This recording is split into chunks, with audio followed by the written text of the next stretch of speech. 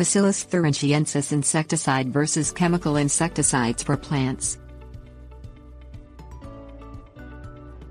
While small-scale garden intrusions can be nipped in the bud with hand plucking or a well-aimed water hose, swarms of destructive invaders may warrant calling in heavier artillery. Bacillus thuringiensis, known as BT, is a naturally occurring bacterial microbe that acts as a stomach poison, killing the targeted pest by starvation without harming humans, food crops or other wildlife. Chemical insecticides, nervous system poisons, exterminate a wider range of pests but pose greater health and environmental hazards. BT Basics If you're looking to stamp out a tent caterpillar plague, gypsy moth infestation or bagworm attack, the best known BT strain, Bacillus thuringiensis kurstaki, is just what the gardener ordered.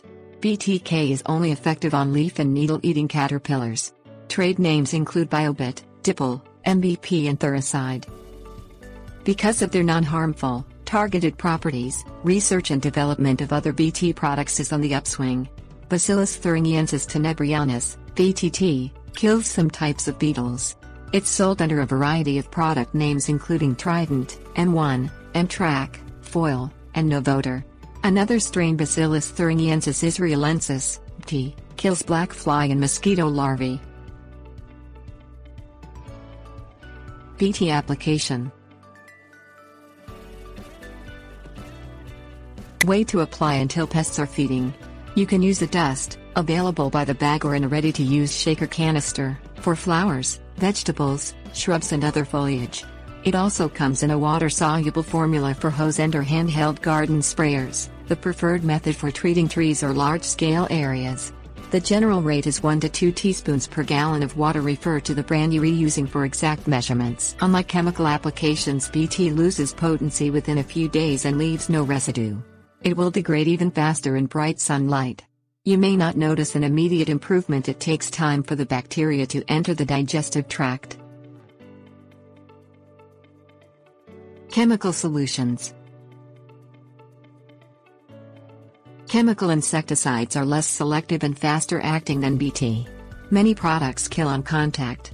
Products labeled broad spectrum kill hundreds of different types of insects, some also prevent or treat plant diseases.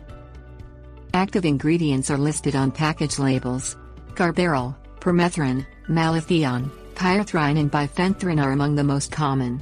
Some are more toxic than others. Some can only be used on ornamental plants. Even chemical insecticides for vegetable gardens may not be suitable for all vegetables. Application methods Chemical insecticides come in ready-to-use sprays and dusts as well as water-soluble concentrates for garden sprayers.